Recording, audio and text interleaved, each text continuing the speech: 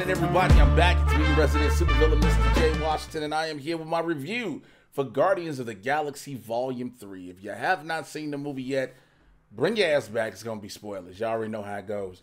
Uh, I've got a bunch of new subscribers who jumped on board since my Rise of the Beast trailer reaction, so I thank y'all. I appreciate, appreciate y'all, uh, everybody that rocks with me all the way across the board uh, from the Mad Titan podcast, whether it be on TV, screen, internet. Thank you sincerely. Um, let's just get right into it. So, if I have to order MCU films, it goes Infinity War number one for me.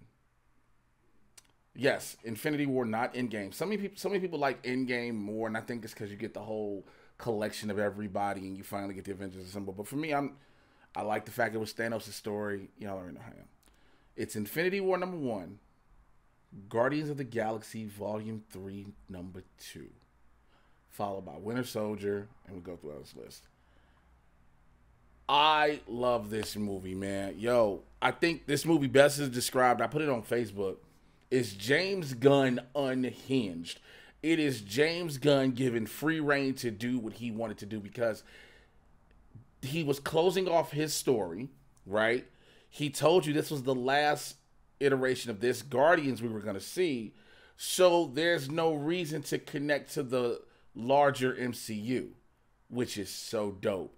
Um, and because of that, I think we got a story that is that told that that completed the story of, of, of the Guardians that left potential for shit going forward.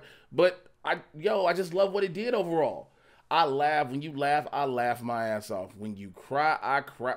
Listen, the scenes of watching Little Rocket, just to see the opening sequence, to watch the High Evolutionary grab the pup Rocket Raccoon, and then when Rocket starts getting worked on, and then him first time him talking, and just says hurt, it breaks you, cause then you see Lylla, who she's got these mechanical arms, and you see the other two and you see that they've just been experimenting on them the whole time and you feel for them. And i know you know i don't ever want to be that dude that says but like it's gonna get you. It's gonna be it's something i would really if you take it if you've seen it yourself and you're waiting to take kids i would really do some discernment for that because of that shit getting so emotional.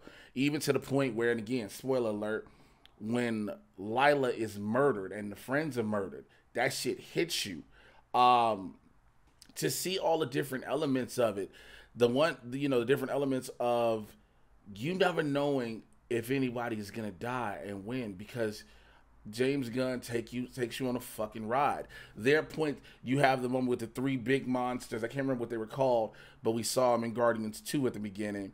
And you have Drax and uh, Mantis stuck with them. You like, yo, this is how they die. You get the point where you think Gamora's out of here. You get the point where you like, yo, Nebula's gonna die. You get the point where you like, yo, Star Lord is gone, and even Rocket. And so all these moments, but I will say again, spoiler alert, for to have it where nobody died. Nobody died. Because we automatically expected Dave Bautista saying, I, am done. I don't have to be Drax anymore. So we're like, oh, for sure they're gonna kill him off you know, and then you're thinking like, well, Rocket's got to go. This is Rocket's story, but for him to let everybody go their separate ways at the end of the film, and and Star Lord go back home, and you know, Rocket being a part, uh, being the new captain of the Guardians, Groot being grown, and Groot actually talking and saying, "I love you guys." What the fuck? Speaking of fuck. I was like many people who thought that Marvel was saving its first F bomb for Deadpool. I thought, you know, this is the movie we knew what it was in Fox. So we knew, you know, when they brought it over, it was like, yo, this is gonna have to be are they gonna change it? But then you find out it's gonna be rated R. But to have the first F bomb be dropped by Star Lord in this movie, I was cool with it. I'm surprised I didn't myself and a lot of others, didn't think about it. And also, here's the beautiful thing about it: it wasn't forced. It wasn't forced. I, and I say that because if you remember Venom, let's go save the fucking world. Things like that. It's certain things that's forced. This one is just him at one point when he's in the car on Counter Earth trying to get to where the lab and everything. Uh, him him doing the whole deal with the holding the latch and the lock and everything with Nebula, who doesn't understand the car door, and then tell just open the fucking door, and it's like it's a real way you would say it. So I I was cool with that. You know, it's like I was shocked for me. I was like, damn, it happened in Guardians. Um, Karen Gillan as Nebula, by the way, she takes it up such a notch because she finally just has enough with Drax's quote unquote stupidity and snaps on him so hard and then turns around and snaps on Mantis who snaps back on her. The the the fever pitch, the boiling over and everything, that was great to see throughout it. But again, you know, they, they're family. So they have these arguments, but they're still together as family family. I put this on Twitter. I put this on Facebook. I said this to people I've talked to in general in person. The High Evolutionary goes up on my top tier villains in the MCU. I don't say he's the best for me, but goddamn, his level of evil and his justification for why he does what he does. There are moments when he's, you know, after he first starts experimenting with Rocket, he's playing with little Rocket. You know, he's he's he's comforting him, he's growing, he's molding him, talking to him, and to find out that Rocket's a genius. You know, and when he finds out Rocket's a genius because some of the ways he was trying to make the creatures, they all turned out with rage and anger and just to see how how he went back to treating them after making it look like he loved them, but then to watch how he just didn't give a fuck. He just was killing everything, like the level of villainry that the high evolutionary is. It, it sucks that he had to be a one-off villain. Now, granted, I don't know for sure because he does not die in this. So again, spoilers. Rocket has the opportunity to kill him, and he won't kill him because he's a member of the Guardians. He will, you know, he's always wanted to kill him, but he won't. And um, the part when you get where Rocket, where the High Evolutionary has him kill Lylla and the friends, and Rocket maims this motherfucker's face, you're like, God damn. Ah, that was great. Another big part of this movie is the return of the Sovereign, Ayesha, the High Sovereign Priestess, and the introduction of Adam Warlock. What I love in the story, how James Gunn told us, you found out that the High Evolutionary created the Sovereign. And we know that the Sovereign, Ayesha, made Adam Warlock. Will Poulter's Adam Warlock is perfect because he has a little bit of childishness, a little bit of goofiness. And the reason being because Ayesha even says, My Lord, you took him out of his cocoon too early. He wasn't fully, fully done. So, Adam being, you know, as he's supposed to be this perfect, the Warlock, but he's super strong, and super powerful, but he still has these tendencies of a child because of, you know, him being early and he cares for his mom who died. She gets the fuck blown up out of her when uh, the high evolutionary destroys counter Earth. I, you know, I think everything played itself well. I know a lot of people wanted to see inevitably Gamora and Star Lord get back together. But again, I think I have to commend James Gunn on not going that easy route, letting them go their separate ways. Letting because this Gamora now is a Ravager. We've seen it in the trailers and all this, so it's pretty much she's Ravager, and Star Lord is you know he's trying to get back to where he was with Gamora, and she's just not going for it. And I love the fact that there was never, you know, she has this little sweet on him for a second moment, but it never becomes this big thing where she's going to be back with him. And so that worked out well the uh, post credit scenes aren't really major, but it is showing you you get the new team of Guardians, Kraglin, Cosmo, uh, Groot, the Lepig thing. I forgot who else is in it. Um, and then you get Peter goes back home because the big thing was Peter was given his uh, picture of his grandmother, his grandfather, excuse me, and his mom. And you know they always mention you never went back home, you never decided to go back home, and he finally goes back home, even older.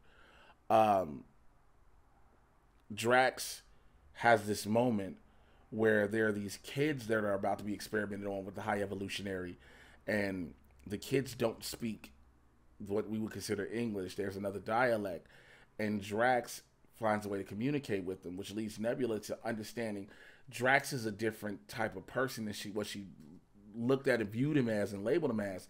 She was she tells him, You're not meant to be a destroyer, you're meant to be a dad. And so that is another thing. I just think I think I was talking with one of my buddies who uh, one of my good friends. Shouts out to Lamont McGee, Lamont McGee, who is one of the who is the consultant producer on Star Wars Young Jedi Adventures. I highly recommend y'all check that out. Support my bro.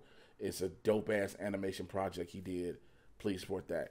But we were talking. I think one of the one things we did, what we would have liked to seen, is the High Evolutionary's origin, and I, I'm pretty sure in some longer cut Gunn might have it might have that but i think we need to know did he come from earth itself because at one point when rocket is you know rocket and the guardians are freeing all the creatures that the high evolutionary is still testing with testing on and with the kids one of the crates says north america.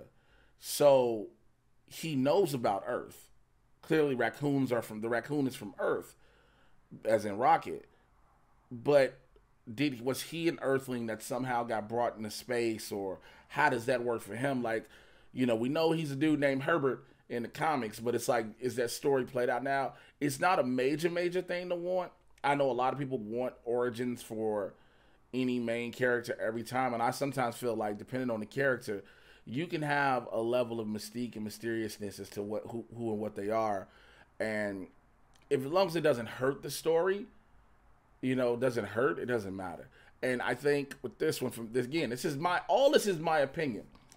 With not knowing the full origin of the high evolutionary, I don't think it takes away from the movie at all. Um, to watch what he does, how his people, how his minions up under him bow to and, and, and go to his every whim, and they are scared of him because you see he he's so smart his suit is powered up and he can do everything. He's just he's badass. If I did compare it, minus the council, it seemed like the High Evolutionary was a bit better than Kang. Now, granted, we know Kang is this ultimate scientist from the 31st, 30th or 31st century, but the level of what we've seen with the power in the High Evolutionary compared to the level of power we've seen in Kang, it's like, yo, now, granted, we may be getting more likely getting recast a recast from Jonathan Majors, whoever's going to take because Kang has variants, so it's easy to pull that off. But I don't know if because of the Kang the way they said, unless they just go straight to Immortus, if we could get a, a, a villain as strong as that because what the High Evolutionary did, yeah, granted he lost everything as his ship, you know, his people around. At one point, his peoples got tired of it and was basically committing mutiny on him um, it was just a level of villainy. It was just the way he was and the way he was portrayed was so dope. Uh, I wish I could pronounce his name, and I do not want to butcher it. But getting introduced to him as Murn in Peacemaker, and when I found out he was a high evolutionary, I was like, okay, I'm I'm I'm here for this. And the look, you know, there's a look when somebody gives you this menacing look, and you get that. And but again, when you watch it play out, um, some people are gonna just try to be mad at this movie to be mad. Now, will I say some of them are legit criticisms? No. Honestly, I won't. Because here's one that I brought up, and I know people are going to say it because I've been seeing the Gunn haters talk about it on Twitter. What is that? His wife's in the movie, Jennifer Holland. Now, I said this on Mad Titan. I will say this on when we go back to the break room for New Rock Stars, everywhere. If I'm a director, my wife is an actor, and we can keep the bag at home, that's what I'm gonna do. This is nothing new. What's his name? Paul D- Paul W S Anderson. Uh, I think that's his name. Uh, let me see. What was the? He was the director of. Some of y'all probably yelling it at the screen, but I'm finna find out real quick because he was the director of the first Resident Evil film. His name is uh, Paul W S Anderson. Yeah, that was his name. Milla Jovovich is his wife. Every movie he directs, he puts his wife in. When Tim Burton was with Helen Bonham Carter, every movie he was in, Seth Rogen has a group of people he always uses. Adam Sandler, uh, Quentin Tarantino. Directors always have people they, they're familiar with, they will use consistently. Um, so let's not act like this is a playing favorite thing. This is something that's been going on in, in the TV and film industry for eons, as long as it's been around. Um, it's just that I, I've known I've known known and noticed and seen since Gunn had become the head of DC Studios along with Peter Safran, people are now nitpicking when his wife is in things. It's like, yo, that's what you do. Some people like Jay, I wouldn't do that. Yes, you would. Yes, you would. Especially look, especially when you get in the bag to go home. The bag come back to the crib. There's nothing wrong with that. Um, like I said, I think this movie is is it's not too long. It is not. It doesn't. It gets to it. It gets to it. Like I said, when you see there's parts when you laugh and the shit that the Guardians do, or what they're going through, you la- there's a part Nathan Fillion is in it. Oh my fucking god! You know, there's a scene that we all seen in the trailer with the different color jumpsuits, and what we see what that leads to is this one place, uh, the Orco, I believe it's called, or the Orgo. Please forgive me. Um, you see what it leads, and you deal with Nathan Fillion and then him with his like his underlings because he's like a head of security, and it's so much shit he does that makes you laugh, and then you're going back and forth, and there's a part where fucking Nebula, I'm not Nebula, excuse me, Mantis and Drax are trying to sneak in, and Drax has to, the security guard is flirting with Drax, and he's like, no, not again, which means they do this regularly, and you see Mantis cracking up because she knows what it is. It's fun shit like that you get that we've seen in other films, we've seen in TV shows, we've seen people in real life do. Um, like I said, because you have to, this movie balances humor and hardship well it balances it very well. Um, some people are gonna say, watching this right now, you only say that because you're a Marvel fan. I am a Marvel fan. I'm also a DC fan. I'm also a DC believer. Uh, because I believe now things can be on a better, you know, I know it's going to be the most obscure characters and stuff like that, but uh, that's how I felt when it came to the first Guardians. Like I told everybody, when Guardians 1 came out, if you can love a talking raccoon and a talking tree, they can do anything they want with that film. And he's done it. Do I think two was perfect? No, I think two was exposition central. But I think three was the perfect ending, the perfect landing for this Guardians of the Galaxy saga. Because the Guardians is an interchangeable team. And we see that even at the end of this. So, again, there is no connections in the post credit scenes to the larger MCU. There's no need to. This is its own self contained story because it closes off the Guardians. Now, it does tell you that Star Lord will return. Now, does that mean Star Lord gets his own Disney Plus series? Does that mean we don't see him again until Secret Wars? Or does he pop up in different other films and projects? We don't know. But I don't think we'll see this. I mean, we probably will, or we might not get this whole collection of Guardians together again for Secret Wars. Not, there's no for sure. But it's only meant to be, you know, it, it we just gotta wait to see. All right. Uh, at the end of the day, this is just my opinion. It is not law. I am not one of them pundits, critics, whatever you want to label it, that will sit there and say, yo, this is how it's got to be. I've talked to people who have been like, when I told them how I felt, they felt the same way. Do we all consider it dogmatic law? Absolutely not.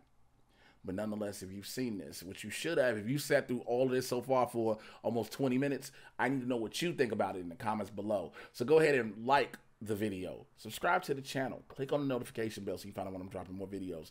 You'll get you'll get my reviews, my trailer reactions. You'll get my shorts. I throw a lot of shorts up, whether they're uh, reactions or stand up bits. You'll get those up too. So please make sure you go ahead and support that. Um, Follow me on Instagram, TikTok at Mr. Jay Washington, M R J A Y. You should know how to spell Washington. Check out the Mad Titan podcast everywhere you get your podcast from. I get you caught up on all the things happening in the Marvel and DC live action cinematic universes. Is Barbershop Talk for Nerds. Come on in the convo and check out the BBC Club podcast. That's the Black Boy Content Club podcast with myself, Chris Burns, and Moses Prim. Man, we talk pop culture, news, sports, on everything. We have some funny conversations and a whole lot more. You can listen to us anywhere Download us anywhere podcast form if you want to watch the visual. We are over on the Moses Prim YouTube channel. Check that out. All right. I will holler at y'all later. Till then, take care.